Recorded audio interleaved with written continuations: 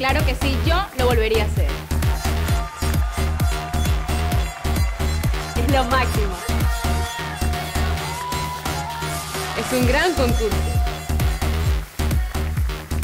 Miss Panamá es un proyecto de organización Miss Panamá y Telemetro.